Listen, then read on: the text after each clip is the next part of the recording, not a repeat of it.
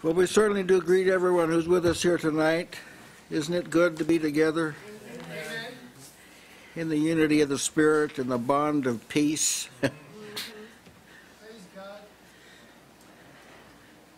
God bless everyone. and I wanted to make a couple extemporary comments before I begin.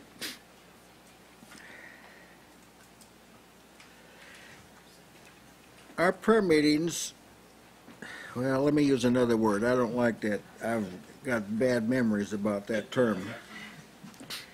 Praying together, as I understand it, this is what the church at Antioch was doing when in Acts 13 it says they were ministering unto the Lord. Uh-huh. I understand that to mean they were they were praying. No doubt in the Holy Spirit. But when you think of that, it's a min, time we're ministering unto the Lord. It's like an aroma rising up in our prayers that if we pray properly, our prayers will blend together. You want to pray as a member of the body and as one who's ministering to the Lord. And one other thing that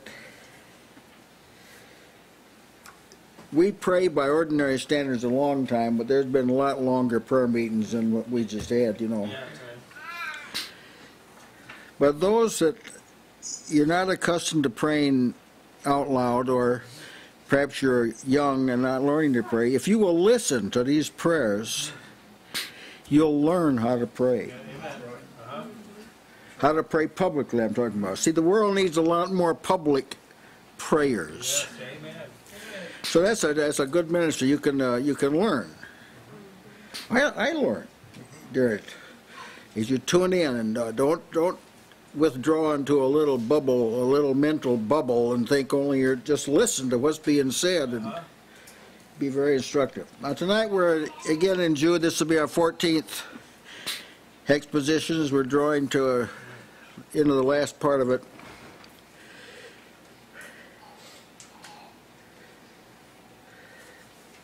And it was written for times such as times we're living in and for situations we face. Paul, you know, said part of his afflictions, he mentioned them in 2 Corinthians 11. They were very extraordinary. His revelations are very extraordinary, and his afflictions are very extraordinary. So, if you want extraordinary knowledge of God, extraordinary fellowship with God, well, you figure it out. That's the price tag that comes along with it. But he listed in his afflictions, which he endured, the care of all the churches. That was the last thing he uh-huh. mentioned. Mentioned beatings and prisons and perils. And the last thing he said was, and that which comes on me daily, the care, concern for, desire for, interest in all the churches. Now, it's not that the apostle didn't have concern for anybody else, but it, he didn't really say a lot about anybody else. Interesting, isn't it? It I have a burden for Spain, I have a burden. We don't question that. But like I don't like burn within when I hear that, I say, well, that's, that's nice. I mean, we're not against that at all. Mm-hmm. Paul never, the only thing, closest thing that came to that, when he was in Athens, he took a little tour of the city while he was Yes. waiting after he'd spent time preaching in the synagogues. He took a little tour of the city. Said he was stirred inside. Yeah. Was stared inside. Well, wait, let me put it in today's language. He was stared inside when he saw all the movie theaters and the gyms. Uh-huh. Yeah. That's right. Mm, oh, yeah, oh, yeah. He saw interest in everything but God, That's right. Yeah. the true God, and misplaced religious devotion. He was stared, that's the closest thing you get to really concern for people outside. The faith. Doesn't mean they didn't have it. That's not what, that's not what I'm saying. I'm saying that's not what they talked about. To my knowledge, Paul never expressed a concern for other heathen cities or continents. Rome was filled with all manner of immorality and vice and sin. It was a, a leader in decadent decadence. But he never prayed for Rome. He just decided to go to Rome. When he went, when he went to Rome, he wanted to meet with, he wanted to go to God's people in Rome. Uh-huh. Yeah. It's interesting. And when Paul first traveled with Barnabas, you remember? He said, let's go again. See, first they went out, they were apostles of the Holy Spirit. The Holy Spirit called them to a special ministry. Separate Paul and Barnabas and Saul for the work I've called them to. They went out and they preached all over. And he called Barnabas, let's, uh, let's go again and visit our brethren. Let's visit our brethren in every city where they we have preached the word and, and see how they do. Yeah. Amen. I never heard anybody go into a city and visiting all the churches to see how they do. I never heard of such a thing. Oh, I never have heard of such a thing. Maybe it's happened, but I never heard of it. All the professional religious men, I've never heard of any of them doing that. Checking out how the brethren are doing. I wonder how the churches are doing. Let's don't ask someone, let's go visit them. Uh, if he were living today, this would be a rather depressing assignment. You can imagine what he'd think if he stepped into some of the frolicking, fun-loving services. He, he would be very disappointed. A point of significance in the book of Acts when things are really picking up and the number of disciples are being multiplied was that throughout all Judea and Galilee and Samaria, the churches were edified, walking in the fear of the Lord, and in the comfort of the Holy Ghost, and were multiplied. Yes, that was a significant, interesting, isn't it? How it's stated. A significant effort was put forth in Acts 15:41 to confirm the churches. That's not confirm like a Catholic or a Lutheran confirms. That's not what that means. Right. That means stabilize. Yeah. That would really be a challenging full-time job, of stabilizing the churches. Just if you did it just like in this part of the city. Uh-huh. Yeah. Can you imagine? Do you know anyone personally? Do you know anyone who wants to stabilize the churches? Um, I, I, I do. I know some. You probably know some, but you have to like do some thinking, don't you, Yeah. to come up come up with a name. This priority is also seen in the apostolic writings. All the writings were the churches. All the writings were the Christians. The only exception would be Theophilus, who was some kind of government official, but he believed. And Luke wrote to him to assure him of the truth of the things that he believed.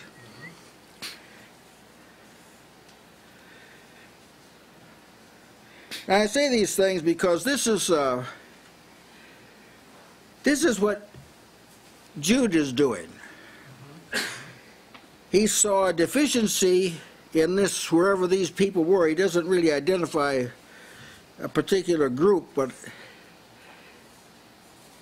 they were in a backward stance. They were going backward. They had become so obtuse that some men who weren't even in Christ, they were false teachers, had come in undetected and pretty much taken over the teaching. And he was very concerned about this, and he wanted he he wanted to talk about other things, but he couldn't tell them about the good stuff. Not at first. Yeah. That's right. See, because when you aren't walking in the Spirit, you you have no right to hear the good stuff. We're not going to set the nourishment on the table of someone who delights in eating garbage. That's right. Yes. And you will find neither Jesus did this nor any of the apostles. They would address that situation of a bad appetite, Uh-huh. stunted appetite, people not taking advantage of the plenitude that's in Christ, content with shallow, meaningless jargon. They'd address this, and that's what that's what Jude is doing. Amen. He knows that an unholy church is not going to do anything for God. Yeah. Now, they may get up and prance and dance and shout. God's not going to use an unholy people. He, in fact, he won't even recognize an unholy people. He said, now, don't be unequally yoked together with unbelievers. Yes. Come out from among them now. This is Holy Spirit language, 2 Corinthians 6. Come out from among them, co- come out from among them, and touch not the unclean thing, and I will receive you. This is God talking to the church. You mean he didn't receive them? Well, he originally did, but they backed out of the house. They chose to live someplace else. So you got to do this before I'll receive you. Then he gives a, gives them some promises. He's first of all he says you can't mix. You can't mix the holy and the profane. You can't mix believers and unbelievers. You can't mix Satan and Christ. This, you can't do this. So if you do come out from among them, I'll, I'll receive you. You'll be sons, my sons and daughters. Amen. Then he says, Now, having these promises, dearly beloved, cleanse yourself, let us cleanse ourselves of all filthiness of flesh and spirit, perfecting holiness in the fear of God. That's the objective Jude has to get people to do that. And we're going to be in the uh, 20th verse. But ye, beloved, beloved, but ye, beloved, but ye, beloved, Yeah. building up yourselves on your most holy faith, praying in the Holy Ghost. But, well, you don't want to read over words like that. Some versions say and and yet. Uh, that's pretty weak. A little English lesson here. Grammatically speaking, the word translated but is a primary particle adversative, expressing antithesis or opposition or continuative, expressing continuity and continuation. So, so what? So, what in the world does that mean? It means while all this bad stuff is going on, simultaneous with that, there's some stuff that's required in God's people. Yeah. Uh-huh. They're expected to continue on with all this hodgepodge going on. That's right. They're expected to continue on, so it's a, it's a contrast. It's a word of contrast.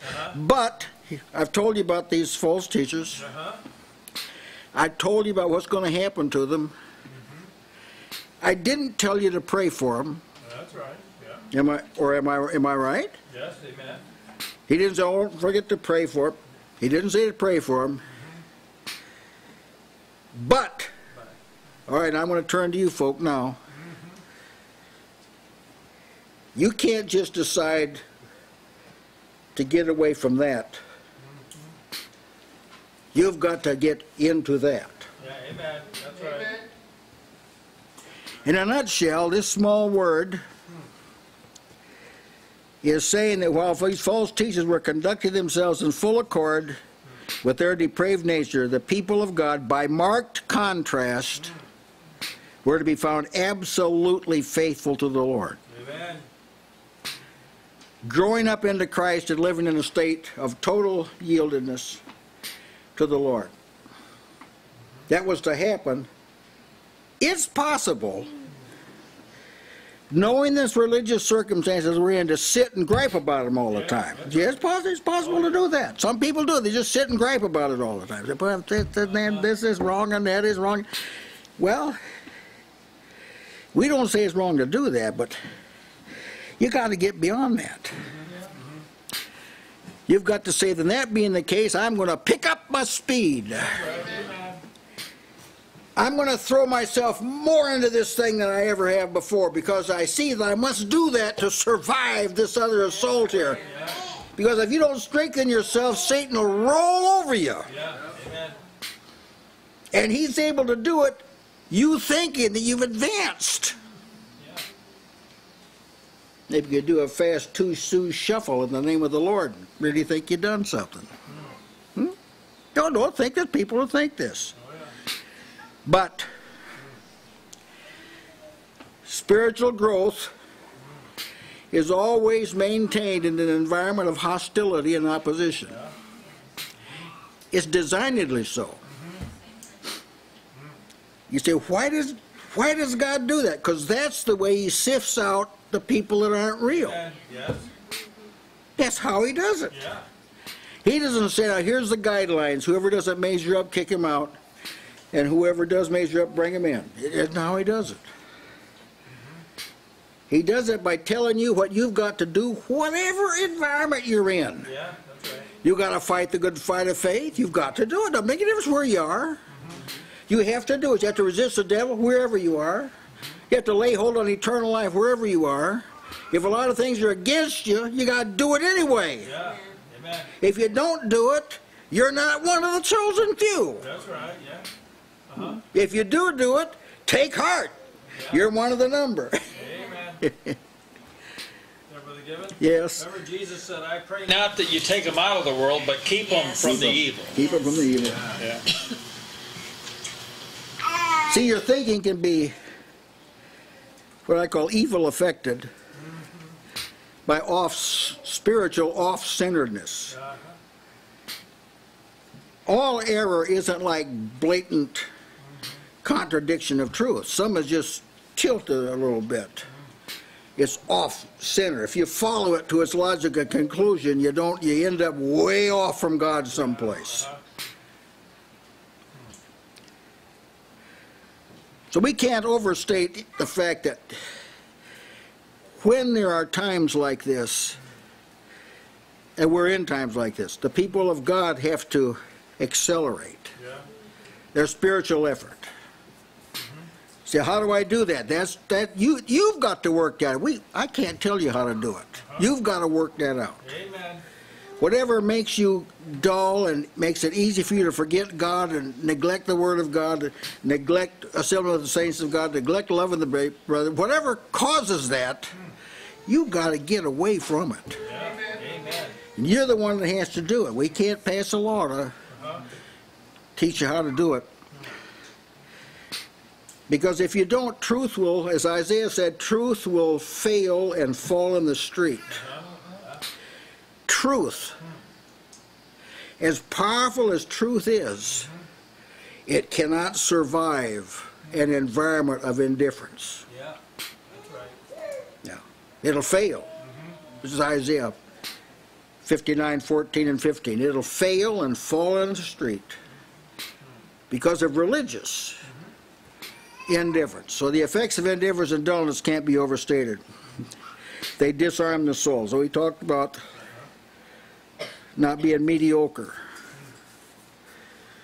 That's the thing, if I let myself, I could dwell an inordinate amount of time on that subject because I so much hate mediocrity. Whatsoever your hand finds to do, do it with all your might, Amen. Yeah. Solomon said. The mind must be girded up. In those days, the uh, they wore long robes for warmth as well as modesty. But when they worked, they had to hike them up and tuck them under the what we call a belt, so they gave them more from some more f- movement. Free, you could move more freely. So you, your mind has loins. Yeah. You've got to get the mental drapery off your mind. Uh-huh. You got to tuck it in. Get all the distracting elements tucked in and out of the way and gird up your mind so you can think. Amen. Yeah. See, some people, they can't think. Uh-huh. you talk to them, you always have to use short sentences, you know, and small words and baby words. You got to talk. Why? Because they can't think. That's what the trouble is. They can't think. They're like they're like educated idiots. They don't know how to use their mind. But in Christ, you've got to learn to use your mind. Sometimes that's just about all you got. Sometimes you get in a situation where your mind is just about the only accessible resource you've got to work with. Gird up the loins of your mind. Amen. Be sober. That's what Jude's writing about. Amen. Yes. Girding up of the mind, that's a, that's a, a, a preparation, part- or par- participation by the one who wants to do the thinking and a preparation for the Lord's blessing right. to give the thinking. That's right. Yeah. Amen. Good. Now remember, these people Jude is writing to had not been thinking. Because we know they hadn't, because these teachers had crept in unawares. Amen. They were, they were leading them down a path that ultimately led to damnation, and the people didn't even know it. Amen. Why didn't they know it? Minds hadn't been girded up. Yeah. Same thing happened when Paul went to Jerusalem. He says that when he was there, false brethren were unawares, unawares, same words in our in Jude, were unawares brought in who came in privily or privately to spy out our liberty, which we have in Christ Jesus. this was Jerusalem. Not Athens, Jerusalem. There were people there that were dragging their feet spiritually. And they brought in, undetected, some people who wanted to spy out their liberty, wanted to take away the freedom that's in Christ Jesus, freedom to draw near, freedom to be holy, freedom to be godly. They wanted to take that away. They came in unawares. Well, in the process of the meeting, it was it was made known. One of the ways was Paul said, "To whom we gave place by subjection, no, not for an hour." Yeah. We didn't let them monopolize the conversation for not even for an hour. Yeah. We were there for a long time. We didn't. We didn't listen to them. Mm-hmm. You want to know how you get rid of people that teach the wrong thing? Hmm. Don't listen to them. Yeah. Oh yeah, they'll leave pretty soon. They'll leave. Don't listen to them. If you want to keep someone that is speaking the truth, listen to them. Usually, defection must be matched by unusual advance in the saints. That's in this but word. Thus, Jude reminds the saints to conduct themselves in contradiction to what's wrong.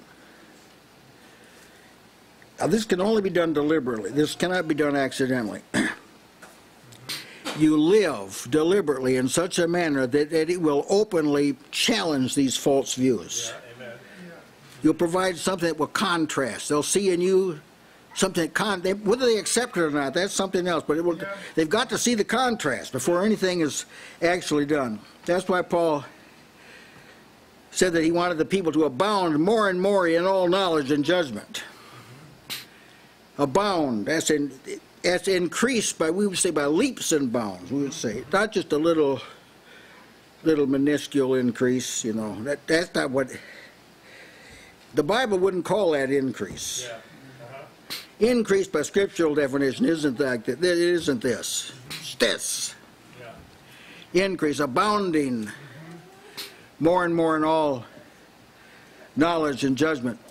Again, he said to the Philippians in Philippians 1 9 that their love must abound more and more. Your love must abound more and more in knowledge and judgment. You must it You must increase in your ability to discern what's right and what's wrong. Judgment. To increase in your familiarity with the things of God, so you can handle the things of God. So when you hear Bible words and they don't confuse you, abound. This is while all this other stuff is going on. That's the point that, that Jude is making. If in fact, when there's erroneous teaching abounding and the electronic media has accelerated this situation, if if in that situation the people of God are not abounding, a major falling away is inevitable. Yeah, that's right. It will happen, that's what that is what has happened. Uh-huh, yeah. It's actually the church's fault that it happened.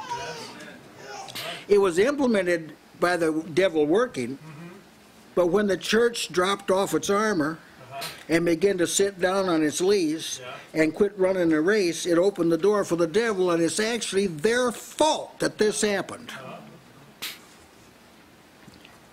Who was it that God blamed when Israel's defection? He blamed their prophets Yeah. that the prophets had led them astray. Their religion was the weak thing. Uh-huh. Now, few people recognize this, but when you have a consistently weak spiritual presence of a group or a person, the reason is is because their theology is flawed. Yeah. Theology is knowledge of God. Their knowledge of God is Uh-huh. flawed. Um, warned of this in Psalms 1, where he said, Blessed is the man that walketh not in the counsel of the Yeah. ungodly, nor standeth in the way of sinners, Uh-huh. nor sitteth in the, ske- in the seat of the scornful. Yet, what you're talking about is they kind of didn't, uh, they went for, for with this blessing that God says he's going to bless people that turn away from these um, thing, these things that draw you away. That's They right. just are sitting with the seat of the scornful, with the old way of the ungodly, and here is the result. Yes, amen. Brother Given? Yes, Yes. Um, I like how you said like we shouldn't even listen to them. It, J- God said, "This is my beloved son. Hear him." here, yeah, Yeah. right. So like if you listen to someone that isn't preaching in accordance with with that, then you're not listen. Then you're you're giving ear to something that's other than Jesus. Amen. Amen. Yeah. Uh, what you just said, a lot of people do not think that's very important. They don't. They don't think it's important. But it is. But again, I was also thinking about that point that whenever we give ear to those types of things, we're also subjecting our mind to Yeah. this. That's Huh? right. So it's a disarming, has a disarming effect on our mind. Uh-huh. See the the apostles and those godly people of old. They knew that the gospel has power. They knew that no word of God is void of power, the scriptures say. They knew that. And so they didn't have to compromise because they knew where the they knew where the power was, see? For instance, in Ephesus, the distinction between people who have the power and people who don't have the power was revealed in these seven sons of Sceva. They were Jews. They went to school, I guess, about how to cast out demons, knew how to do it. So they found this demon possessed man. They attempted to exorcise the demon, exorcise the demon. So they said, We command you in the name of Jesus, whom Paul preaches. That's it. That ought, that, ought, that ought to do it. Uh-huh. That ought to do it because the Jesus Paul preached, they'd come out, they'd come out under that name. Uh-huh. We rebuke in the name of Jesus whom Paul preaches.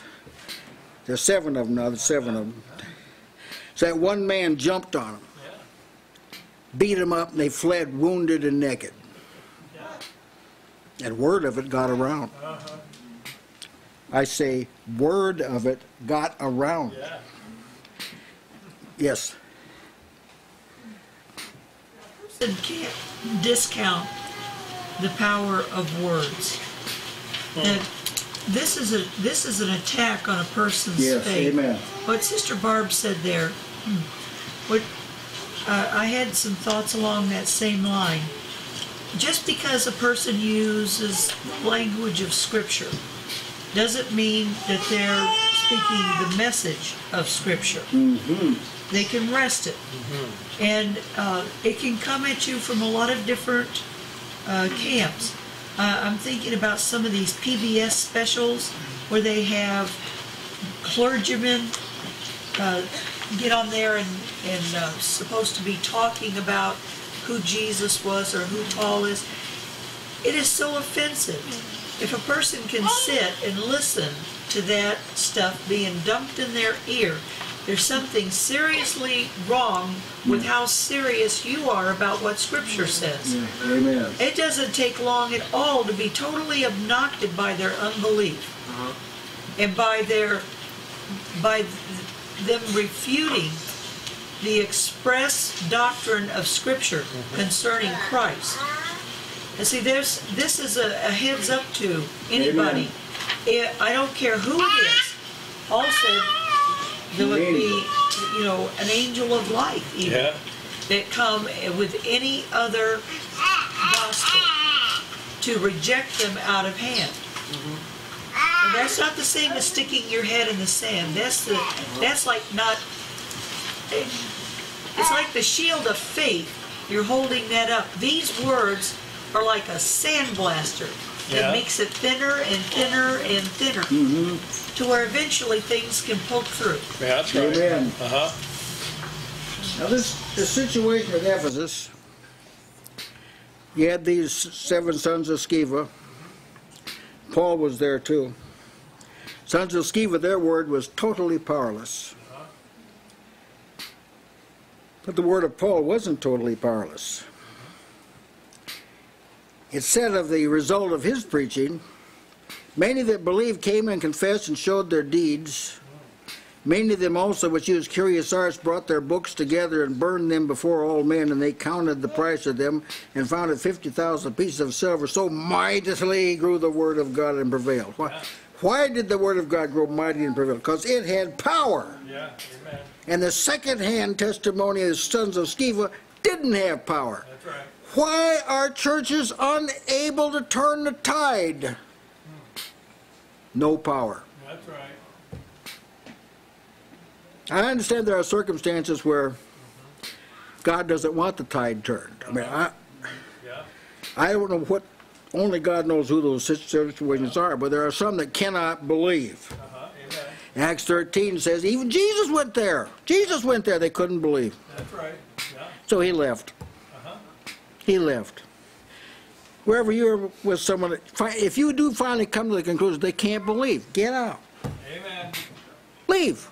Jesus did. Yes. You got, you got to know what you, you have to know what you're doing, you understand?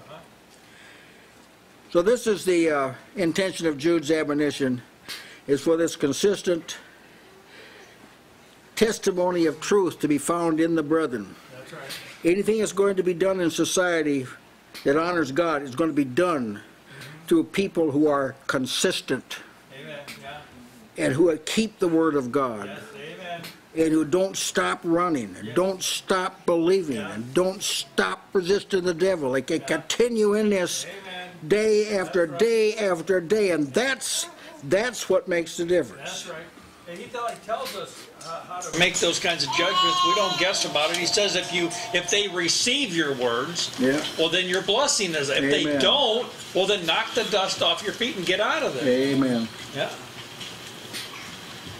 Now Jude says, but we got the the but. Yeah. By by way of contrast with these teachers, Yes. the answer isn't for you to do nothing, Uh-huh. but ye beloved, ye beloved. We've dealt some of this before, but some versions read, dear friends. I mean, I don't like the sound of that, but that's the NIV, and a lot of other versions. Most later versions do say, dear friends. My loved ones, dearly beloved, dearly loved friends. Now, the translation friends is wholly inappropriate. I don't care what version of the Bible has it. It's a wholly inappropriate. There is a word in the Bible, Hebrew and Greek, for friends, and it's not the same as beloved. Yeah, amen. It means a, a neighbor who's close by proximity. Sometimes it's a friend, not a friend over there in Timbuktu. It's an associate or, or someone in proximity to the person. When Abraham is called the friend of God, it's because he was close. God has never called Abraham his friend. We ought to draw attention to that. Abraham was called God's friend because he was close. Mm-hmm. So the word friend, I'm, I highlight the word, the word friend.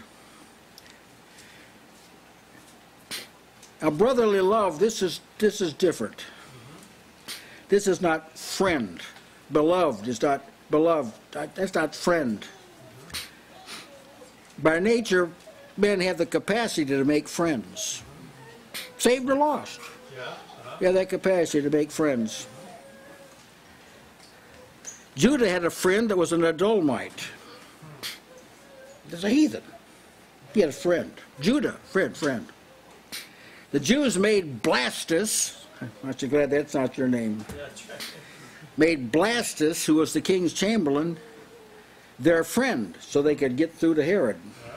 See? But brotherly love, that's not the manner of beloved or brotherly love, not the manner of it. Then the body of Christ, brotherly love involves preferring one another also. Oh. So it's just not an associate. I, I, def, I defer to their interests. Yeah, amen. That's brotherly love. The love of the brethren is necessarily preceded hmm. by having purified your souls and obeying the truth through the spirit of the unfeigned love of the brethren. See, you purify your souls in obeying the truth through the spirit unto or in order to unfeigned or unpretentious love of the brethren. See, you can't love the brethren if you didn't get that purification. It's just pretension. It's just pretending. That's all. It's not real. Yeah, first of all, you have to be purified through the Spirit. Purified, and it's in order that you can love the brethren, unfeigned, unpretentious. See, some people have a special church face. That's right, yeah. They do, they do. They have a special church face. They're pretending. Yes, Justin. I like how it says, uh, it, it makes sense because if you really think about it, how could you, unless you prefer their life over your own, you, you can't. It says, okay, it says, greater love hath no man than this, than he lay down his life for his friends. Yeah. So, in that purity, it, it makes it to where that's possible. Amen. Uh-huh. You got it. Yeah. That's right. See how see how different this is than the. It's more than like respect. Yeah, right, yeah. There's respect in it, but it's just it's just part. It's not the not the whole. Unfeigned love of the brethren. Brotherly love is evidence that you've passed from death unto life. It's your proof. It's your proof. That's right. Hereby we know we've passed from death unto life because Uh-huh, we love the brethren. that's right, amen. You the brethren aren't lovable just to everybody. Well, it isn't that they're obnoxious socially or like that. They're, they're the best citizens there are. Yeah. They're the most productive workers there are. But they, uh, they're not attractive to the world. Yeah. Yes. This has got to be something that, um, if this is going to be an evidence to us, this has got to be something that we're not going to be able to go, do I really love the brother? Yeah, or that's do I not? Does, is this real or is this not real? It's got to be something we can be sure of. Yes. If it's an evidence. Uh-huh. Amen. Yeah, amen. Amen. Yeah, let's say the the Lord's Day comes around. And you've heard the words, forsake not the assembly of yourselves together, as the manner of some is. Some people do this. That's right. But exhort one another, and all the more as you see the day approaching. What day is it? Well, it's the Lord's day. What other day do you see approaching, pray tell? Right. Huh? Amen. Somebody said, that's the second coming. You see the second coming approaching? Yeah, no, You don't know the day or the hour. that's right. No, you don't see it approaching. It's the first day of the week. Yeah, amen. Paul James John said, I was in the spirit on the Lord's day. Yes. And he was on an island. Apparently, if he wasn't all by himself, he was almost. So the Lord's day comes around. This is the Lord's day. This is when we break bread. Yes. It so happens that the World Series is on that day too. Oh, yeah. Uh-huh. Yeah, well, you know, I'm quite a baseball fan. But I love the brethren more than the game, so I'll, I'll defer to. That's how you know whether you love the brethren or not. Wh- Which do you prefer? Amen. Which do you prefer? Some people, they unfortunately are in a marriage where one's in and one's out. That's not the way they wanted it, but evidently that marriage started out with both out. One came in, one didn't. What do we do? Well, Paul says, first of all, you got to live peaceably. If you can't live peaceably, believer, exit. Yeah, that's right. That's what he said. First Corinthians says what he said. You're, you're not under bondage. God's called us to peace, not to war. So That's right. peaceably means the unbeliever doesn't interfere Uh-huh. with my life toward God. It doesn't mean, all right, we'll dwell peaceably. I'll just quit reading the Bible. I'll quit talking about the Lord. I'll quit going to the fellowship. That's not what he's talking about. He's talking about in what God requires of you, Uh-huh. you don't you refuse to give that up. And if that causes peace that can't be resolved, you're not under bondage. That's what he taught, 1 Corinthians 7. See, these are ways you find out whether you love the brethren or not. It's who you defer to. Whose interest do you have? Because if you have an interest in them, they'll have an interest in you. Which of us hasn't experienced this? Yeah. You've experienced the brethren rallying Uh-huh. to your cause, Yes. which you were doing things that would have been very difficult to do, but they, the brethren that proved they, they loved one another, see? Yes. Brotherly love then is the evidence of passing death in life. But that's not all. God teaches us to love one another. now this presumes that you're teachable close enough to the Lord to be taught. Brother Gil, Yes. It's also good to know that the love will only exist when there's a likeness, because as you pointed out earlier, Christ and Satan cannot mix. It's Yes. not Uh-huh. neither side can make themselves love the other unless there's some kind of union made. That's right. Yeah. Amen. Yeah, amen. Now, establishing that loving the brethren doesn't spring from human nature itself, Paul wrote to those who possessed this love in Thessalonica. He said, um, As touching brotherly love, you need not that I write unto you, for ye yourselves are taught of or by God to love one another. So I don't have to have a long dissertation about this.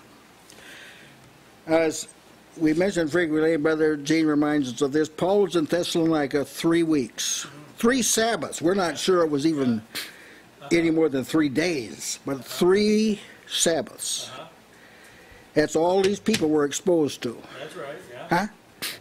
Three Sabbaths, that's all these people were exposed to.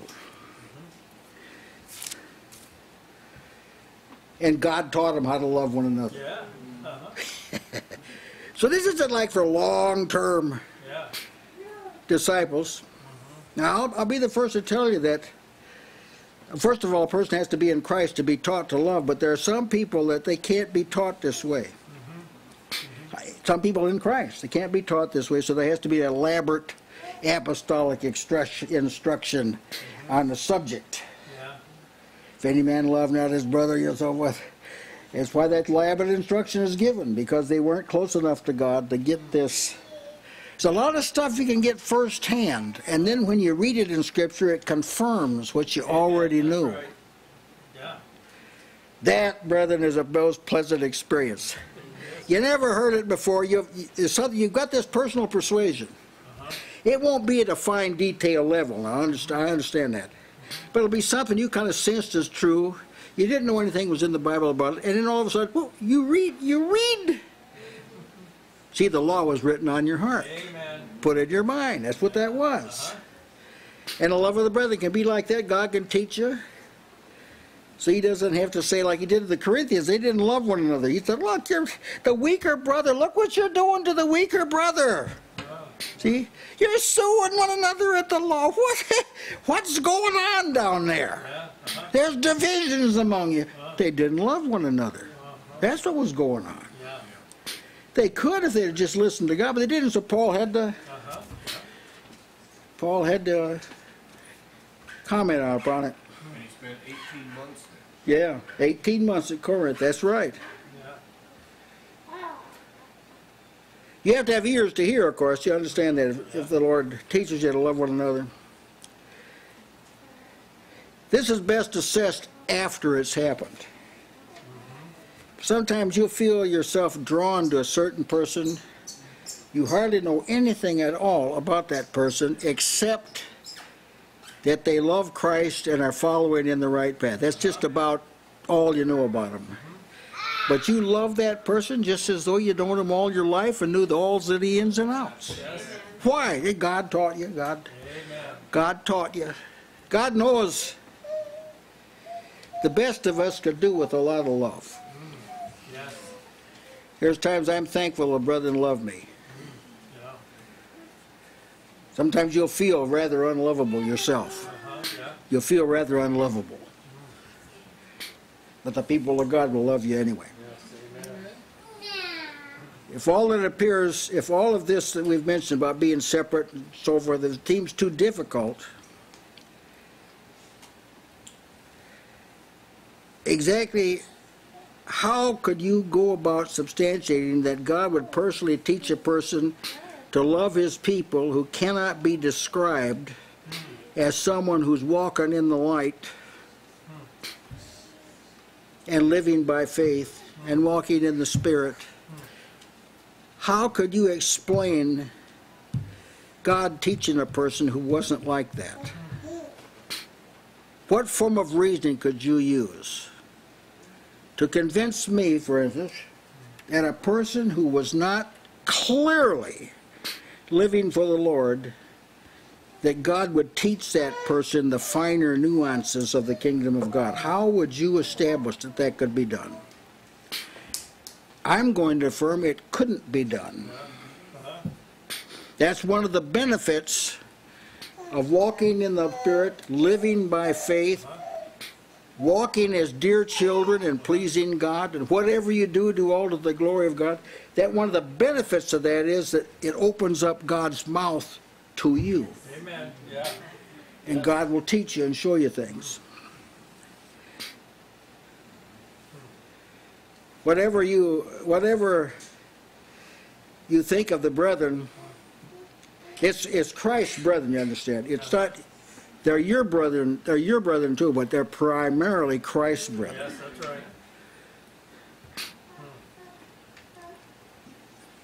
He calls the little ones, even who is there will shall offend one of these little ones, my brethren. Yeah. These are you're Christ's brethren. He's not ashamed to call us brethren. That's right.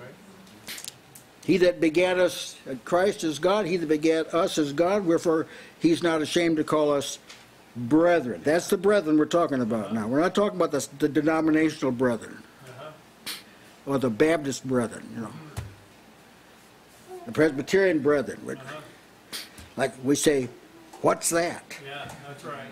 That even sound good to me. What's that? Yeah. Brethren of Jesus. See, something real has had to happen for you to be Christ's brother. That's right. Yeah. Amen. You just you just don't lip off some kind of a creed and all of a sudden you're one of the brethren. Yeah. Right. All of that kind of is practiced a lot of places. Uh-huh. You promise this, you promise that, but you confess this, you confess that. That that's what makes you what no. What makes you what you are is that God has begotten you and accepted you and you're Christ's brother, you have an obligation. And your feet will be held to the fire on this subject.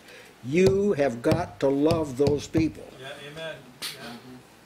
No matter where they are, or who they are, or what they look like. Maybe some of them are in prison. Yeah, uh-huh, Maybe some of them are all crippled up. uh-huh. Maybe some of them can't talk. It seems like they can't think too well, but if they're Christ's brethren, remember loving them means you prefer them. You prefer them. You'll do them good. Yes. That right there, what you're saying, hits upon another aspect of that word beloved, which speaks to one's worthiness of love. That's good. That when we call one another beloved, we're saying, you're wor- you are worthy of my love. Amen. Because Christ loved you, Yeah. loves you, Yeah. and calls you brother, calls you sister. Therefore, you're worthy of Amen. my mm-hmm. love too. And we can't say that to the world. No. Yeah, right. Amen. See what,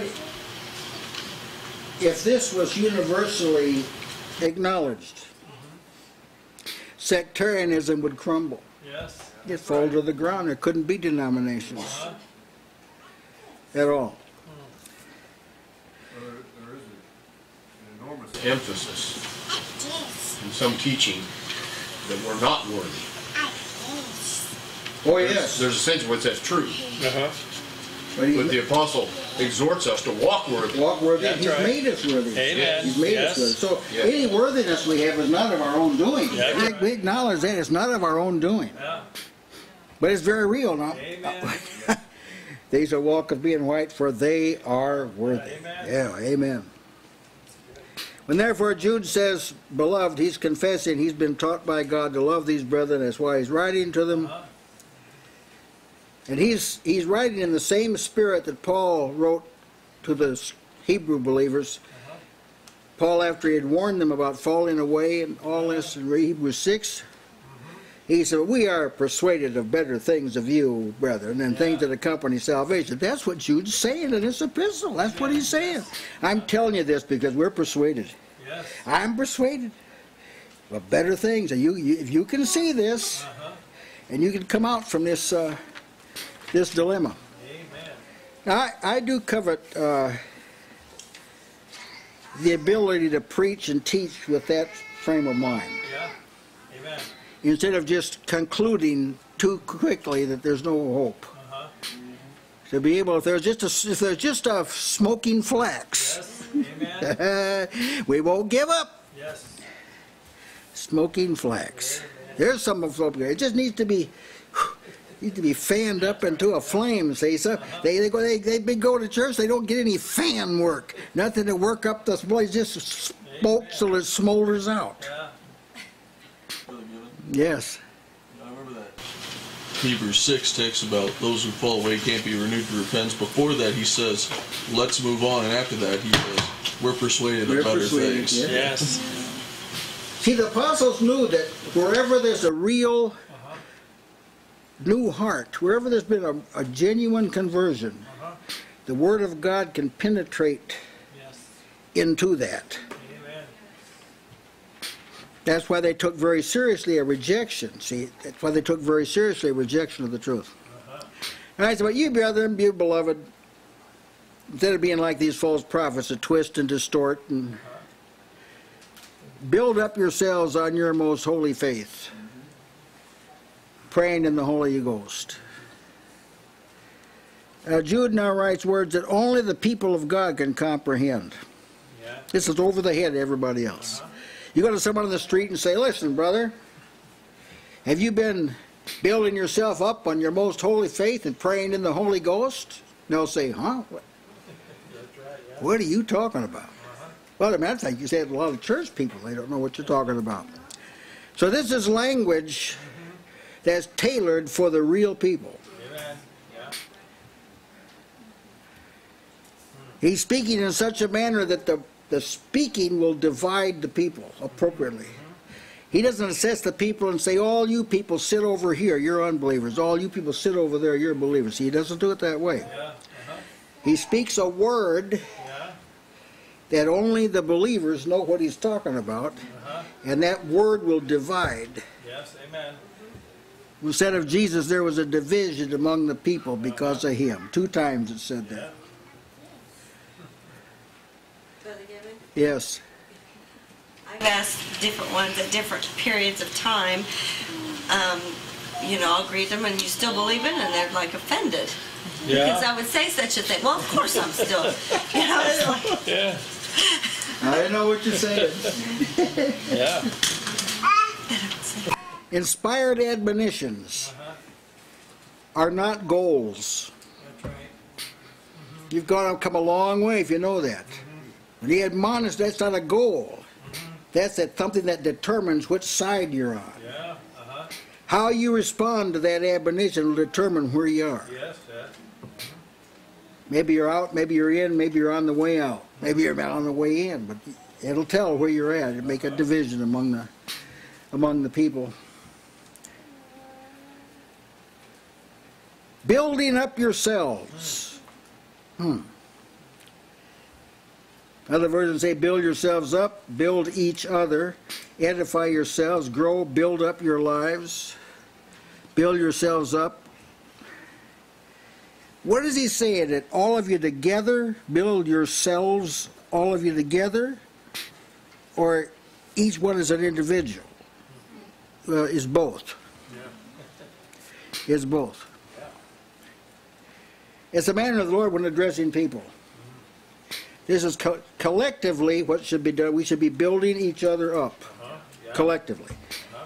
But we won't be able to do it collectively unless we've done it individually. Amen. That's just how it works. You gotta, you gotta bring something into the assembly. You have to bring some kind of resource into the assembly mm-hmm. that you got outside the assembly. Yeah, Building up yourselves. Building, that's a edifice. That's where edification. It's like building a house. Individuals are to build themselves, they are to build themselves up or perfect themselves or grow up into Christ uh-huh, or m- mature. that's right, yeah, To build themselves. You must be further along tomorrow than you are today. Amen. See? Yeah, Then when we come together, we build ourselves right. up. Yeah. Yeah, Brother Given? When, when you're little, you take the same kind of wooden blocks, but you just play with them. Yeah. When you get older, you actually build something That's with right, them. you build. You, you did something that's functional. Build. Yeah.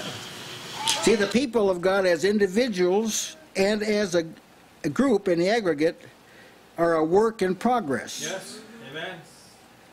We're not finished as individuals and we're not finished as an assembly. Uh-huh. Yeah. So there's to be progress and growth upward, whereas the prophet said root downward, Yeah. fruit upward. Yeah. Uh-huh. Build up your, make yourselves stronger. Be, Uh-huh. when you come into the assembly, and when we leave the assembly, we should be stronger than we were when we come in. Amen. See more clearly. Mm-hmm.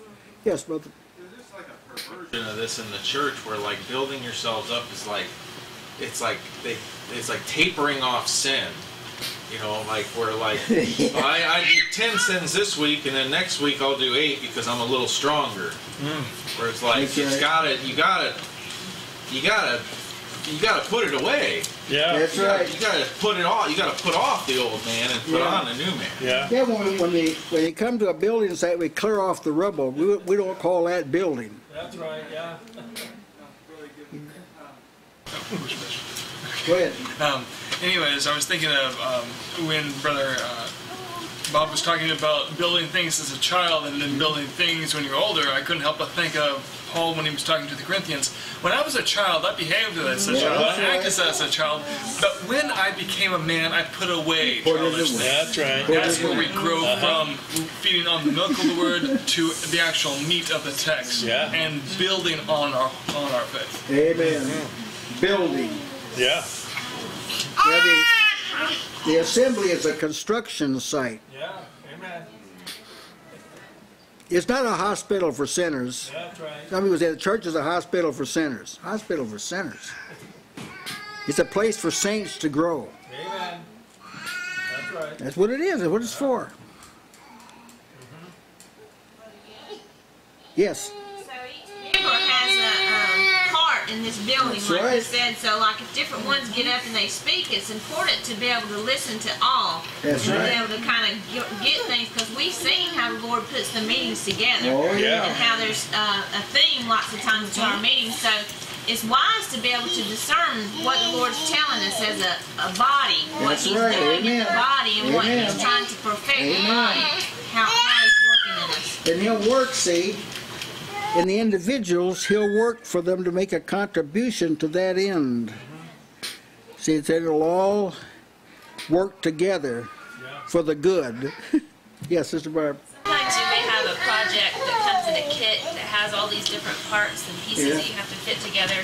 And there may be a temptation to not recognize the utility of a certain part. Uh-huh. And so you may leave it out Yeah. whenever you're building. But later on, you're going to see the necessity of where that's placed in the right. unit.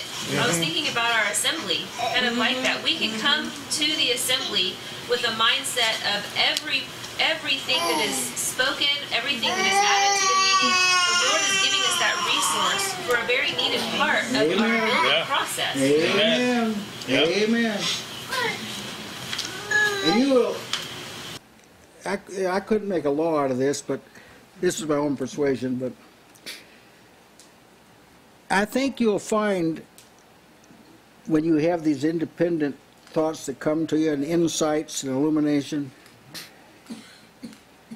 the assembly is a place where you can express it. Yeah. You can actually say it.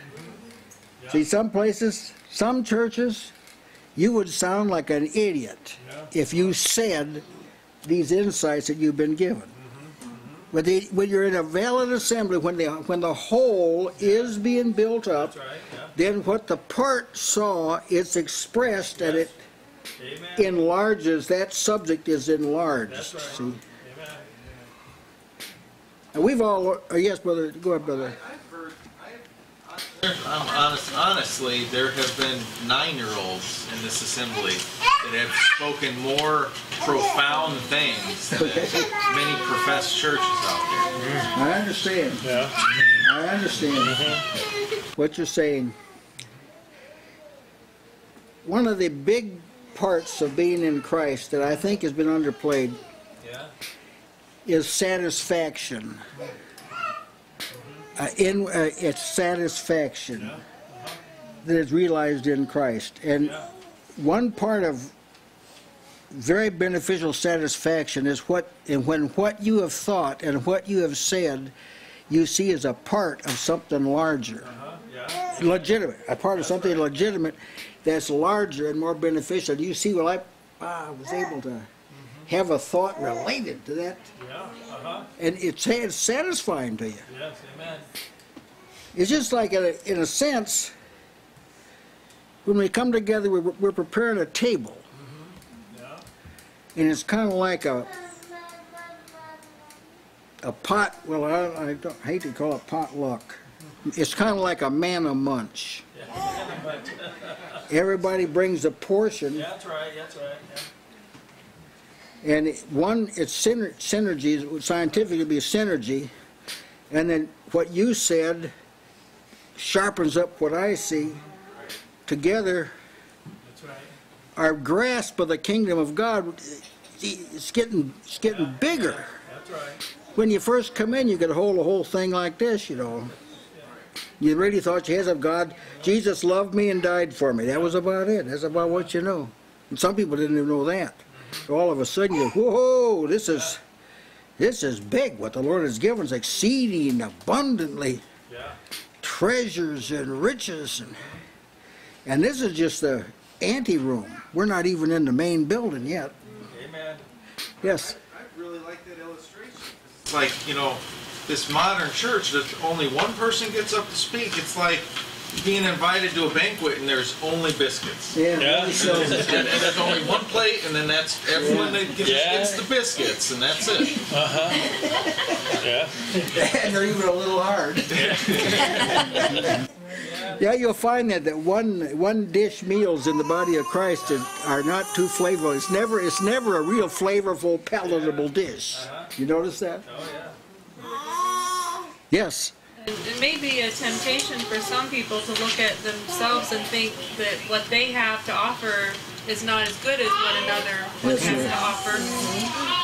And it, you know, it may really be the case that you just need to grow. Mm-hmm. But the best way to grow is to put your hand to the work. That's Do right. what you are able to do, mm-hmm. and it's in the process of working that you're able to grow in your ability. No Amen. no one who is who is strong in the Lord got to that place without working. Amen. Now we, I would say a word to, particularly to young people that are not accustomed, you know, to speaking publicly.